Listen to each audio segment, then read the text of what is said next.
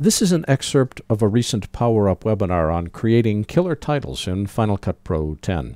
In this excerpt, I'll show you how to animate titles. This, by the way, is a fabric generator. I've set it from its, I set the default to canvas. I added a tint color, added about oh, that much tinting to make it sort of a warm canvas. Went back to the video tab, and with most of these generators, they're just too bright. I pulled the opacity down to about 30%. That's just too much in your face. Pull it back so I keep the texture, but text is going to pop on top of it. And speaking of popping text, if we search for custom, remember I said that the basic title, Control T, has no animation, just full screen text.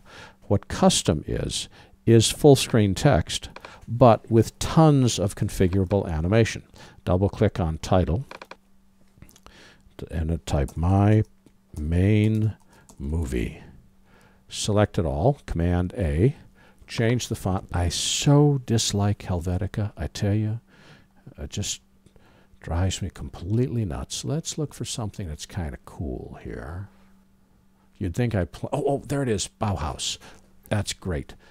Okay, so we'll make it bigger, about right there. And notice that my spacing is just way, way too wide open. I got to tighten that up. So I grab line spacing, tighten it up. Yeah, let's make it about minus 125. That's better. Grab the white dot, drag it up, and Command Return to get out of text mode. Now we go back to where the animation is. That's the title button. If I set the opacity to about, oh, there, watch how this looks as it plays in. The text is grayed back and brightens up. Oh, you don't want it to be grayed back? Then make it fully transparent and there's no text and it just paints itself on. Let's gray it back a bit because it's kind of weird and cool. All right, so now I want to change its position. Click, hold, and drag. And we'll drag it over to here. And now when I play it, ta-da, the text slides in. All right, well, let's just make it weirder and cooler. Let's have it do tracking.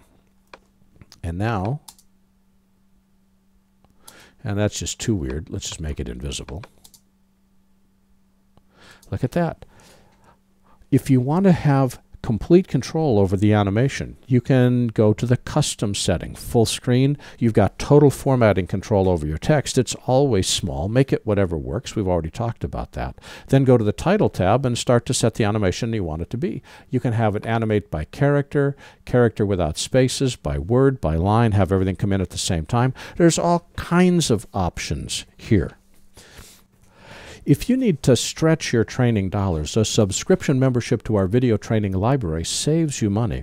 You can access all of our training videos for a low monthly price of only $19.99. There's more than 500 movies, dozens of hours of training, all in depth, all up to date. Plus, members can attend any of our live Power Up webinars for free.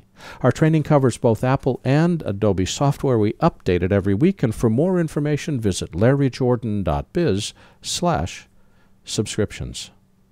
This has been an excerpt of a recent Power Up webinar on creating killer titles inside Final Cut Pro 10. For the complete version of this online training, please visit our store at larryjordan.biz slash store and look for webinar 95.